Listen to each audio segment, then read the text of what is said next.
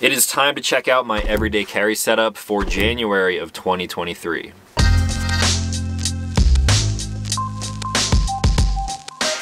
What's going on everyone? Back with another episode of Stuff and Things. Today we're talking about EDC. I read all of the comments on that previous video and you guys said by a landslide that going into this new year you want to see a lot of everyday carry content. So gear reviews and pocket knives and flashlights and things of that nature. So this one is not going to be super exciting because as you guys know, I haven't done a whole lot of EDC videos last year because it hasn't changed a whole lot, but I'm gonna make some changes to that going into this year and I'm gonna try out different gear, I'm gonna test a lot of new things, and I'm gonna bring you guys some videos on it. So to kick this off, I'm gonna show you guys what I have in my pockets right now in January of 2023. First things first, the main three, phone, wallet, keys. I cannot leave the house without those things, so we'll run through this one pretty quickly because it hasn't changed a whole lot. Right here I have my trusty old iPhone 13 Pro Max. This phone is a little bit big for me. I kinda wish I would've got the smaller one, and whenever this one dies on me and I go to upgrade, I will probably opt for the smaller version of this phone because I like to keep things a little bit more minimal now. I have this thing in an Apple case. I have a screen protector that's all cracked up on there and then also a MagSafe pop socket just to make holding my phone a little bit easier. Now to go along with the phone, a few people have seen this in some of my videos and were curious about it. So right here on my wrist is the Apple Watch Ultra. Now I'm not a huge watch guy. There is one watch that is very high on my list, but it is very expensive. So I will not be investing in that anytime soon. However, I do like having something on my wrist to check things other than just the time. So after checking out my friend Mike's watch, I decided, hey, maybe it's time to get back into Apple Watches. This is really one of the only watches that I wore in the past. And the reason that I like this thing now is because of the improved battery life. I can wear this thing about three, maybe four days straight without charging it. And that was a big downfall of the previous one. So I like this thing a lot. I have this watch face set up with the date and time, my activity levels on there, as well as a stopwatch. My favorite thing down in the left-hand corner is my elevation, so I can click on that and get directions. And when we are out in the mountains, I'm constantly checking out my elevation. I then have the battery life of the watch, as well as the daily high and low temperature. Now one of the newer features of the Ultra is that it has sort of like a hotkey selection so if I tap on this button right here turns on a flashlight, which doesn't seem like much right now, but in a pinch, like when we're sleeping in here at night and I just want to see something to grab it and I don't want to wake everyone up, I can tap that to turn it on and it's all programmable. You can customize these things however you want. I do have this thing on just the regular Apple Trail Band, which is getting kind of dirty. I've been wearing this thing quite a lot and I like it. Now moving on to the keys, this one is very simple. It's just my Tacoma key in a Miso Customs case. I do have that attached to my belt loop at all times with my Trayvax Talon. This is kind of like an exclusive version. This one sort of has like a black finish on it. As of right now when I'm filming this video, these are in stock, at least some of the color variants. So if you guys want to check that out, I will of course leave links to everything that I'm talking about here in the description down below. Keys, nice and simple. Now for the wallet, my all-time go-to favorite wallet, the Trayvax Contour. I've tested a lot of wallets and I always go back to this one. And for EDC video sakes, I wanna bring you guys some more gear videos. I'm probably going to be swapping this out here like right after this video. I wanna test out some new gear and get those thoughts under my belt. That way I can bring you guys some more of these, maybe like a video a month. It's probably not going to truly be an everyday carry video, but it'll just sort of be like a pocket dump. Here's what I'm carrying today. So in this wallet, I have three cards for money, two cards for identification, and then in the back, I do have a little bit of cash on me right now, which is kind of rare. This bottle opener gets used quite a lot as I'm traveling around, and it's nice to always have it on there.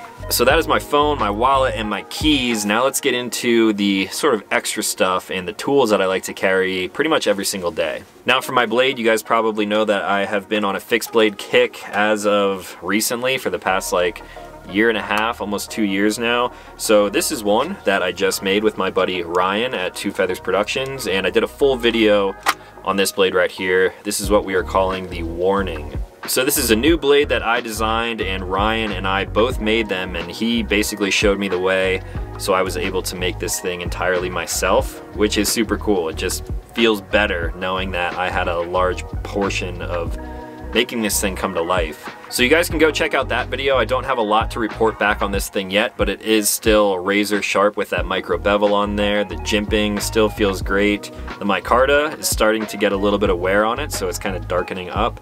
And I love this thing, especially with the new sheath design.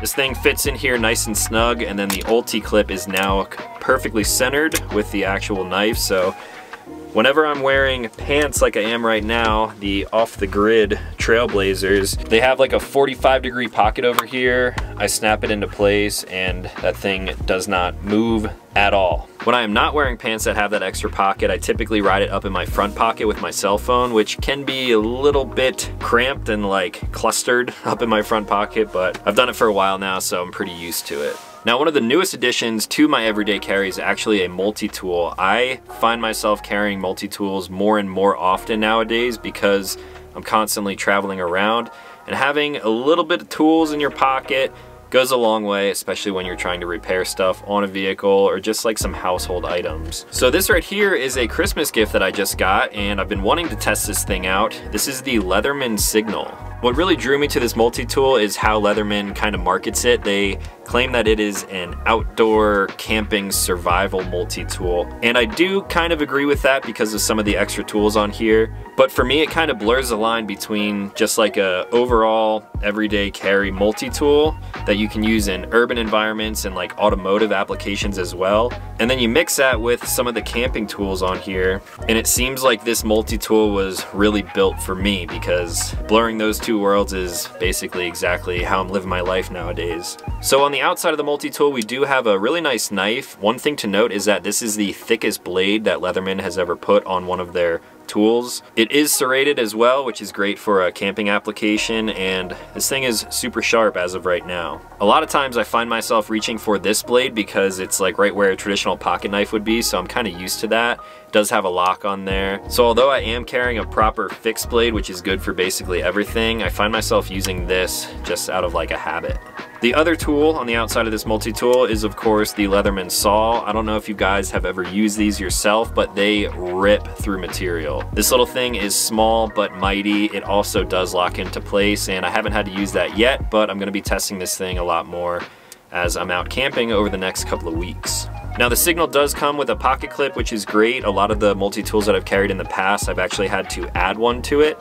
So it's nice to see that they intend this thing to be riding in your front pocket. Now on the bottom side of this multi-tool, you'll find some knurling here, and this is actually useful as a hammer which is super nice because I've hammered nails and different things with pocket knives that I carry all the time. Really not supposed to do that, so having just a little bit of like a striking plate there goes a long way. I've already used this and it works great. There's also a cutout for a quarter inch drive on there if you are carrying extra bits and then of course a carabiner with a bottle opener in there. This multi-tool does have a lock too so if you are using that carabiner you can pop that lock into place and then the tool will not open if you have it like hanging on a backpack or just hanging on your belt loop. Now there's actually one more tool that you can access from the outside here. If I press this lock for the tools that are on the inside, this little knife sharpener pops off.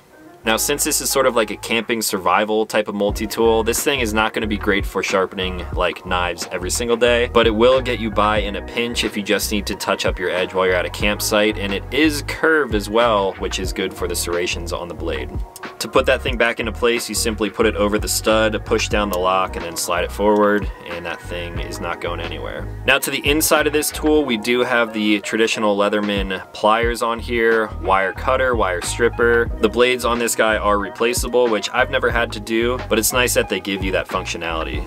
Now on the hammer side of this multi-tool, if you pull back this little clip here, you can actually pop out the other wilderness survival tool. This is actually a whistle Pretty dang loud. It's great for survival situations if you get stuck in a tree well while you're skiing and you need help. If you got this thing in your pocket, you can blow this whistle a lot longer than you can yell for help. On the back side of that is also a ferro rod which you can strike with the back of one of these tools and start a fire in a pinch. Now there's a lot of really good reviews of this tool out there on the market already and I've heard that this rod is a little bit soft so it's not going to be a rod that you practice with because you will wear through it pretty quickly. I have not used it yet but in the future for testing's sake I might try to start a fire with that just to see how it works. Now last but not least on the other side of this tool we of course have a bit driver, both Phillips and slotted. We also have a can opener which a lot of people don't find very useful. However, I use can openers quite a lot while I'm camping. And then of course we have an awl here which is sort of like multi-purpose. You can do a lot of things with that awl.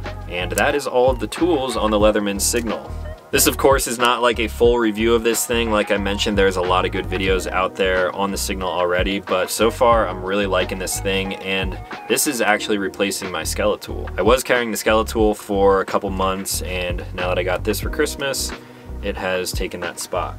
So that is all of the gear that I carry in my pockets almost every single day, even when I am not leaving the house. However, when I am leaving the house and I'm going somewhere like maybe into a city, then of course we have some more protection and I know you guys would definitely want to hear about this, so let's just get it out of the way. My everyday carry, which is technically not every day because I don't leave the house very often, but when I do, typically I will have my TS43X with me. This is riding in an Associate V2 holster from my buddy Mike, and I am still running the Shield Arms 15 round mags with this.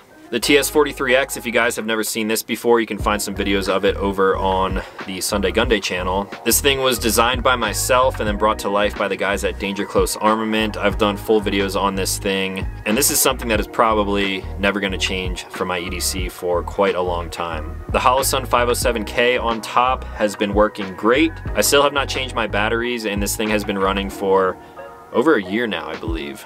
So I absolutely love this thing. It is super comfortable in these holsters from LLOD and that is one of the things that comes with me almost everywhere. So that is all that I had for this EDC update. Like I mentioned early on, not a whole lot has changed, but going forward, right when I'm done filming this video, I'm gonna pull out some old gear, maybe pull out some new gear that you guys haven't seen before, and I'm gonna bring you some EDC pocket dump style related videos here in the future. Maybe one a month, if you guys like this video and leave a comment, let me know what type of pocket dump EDC stuff you guys want to see. And let's say we get 2,000 likes and I will make another EDC pocket dump style video. So that is all that I had for today. If you guys are new to this channel, consider clicking subscribe. I make new videos every single week. As always, thank you for watching. I'll talk to you in the next one.